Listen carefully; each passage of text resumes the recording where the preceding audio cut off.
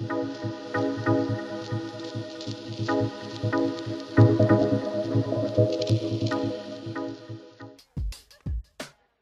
there YouTube, it is Tuesday the 20th of September 2011 and this is Alternate World News.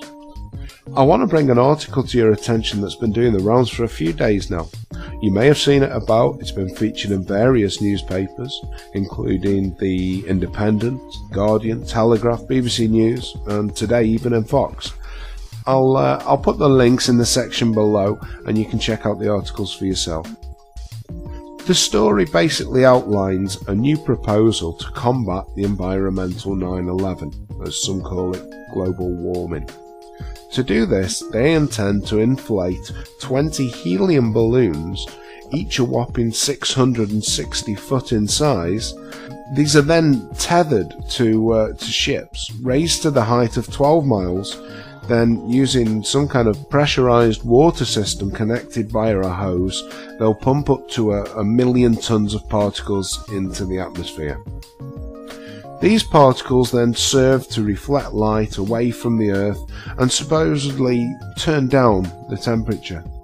One thing that the articles have in common is that they all seem to skirt around the facts of the exact ingredients of the chemical concoctions they intend to release in the air.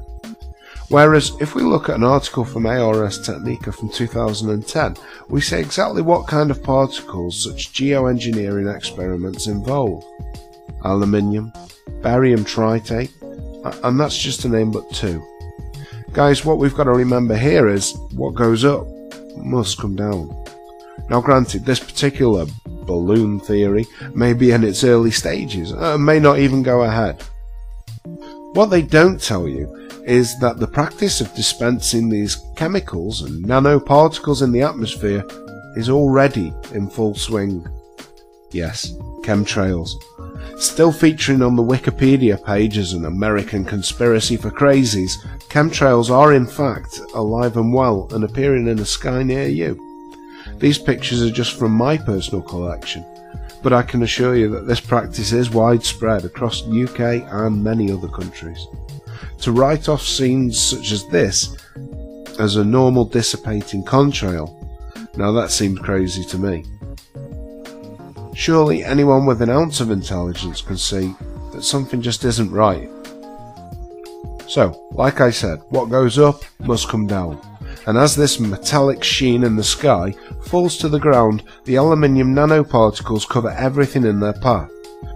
Due to being highly combustible, a coating of this substance can increase the likelihood or the veracity of forest fires, scrubland fires, etc. Being metallic, particles like this will oxidize on the ground, and in time this will cause the pH of the soil to rise. That will result in an unsuitable environment for future growth. This is all before we even look at the potential effects on the population that's unwittingly breathing in these uh, hazardous materials. With the rapid increases lately in diseases such as Morgellons, Alzheimer's, uh, thyroid problems, and other autoimmune diseases, it's safe to assume that some kind of agenda is already playing out as intended and it wouldn't be the first time that the powers that be have done such shady experiments. Back in April 2002, The Guardian reported on the 39 year campaign of the government's tests, spraying large numbers of people with a range of bacteria, germs, and chemicals. Look, I'm not trying to spread any fear here, just a little awareness. And I admit, I can't stop this, but maybe we can. Please share this information, spread the word. This has been Alternate World News. Thanks for listening, much love, and take care.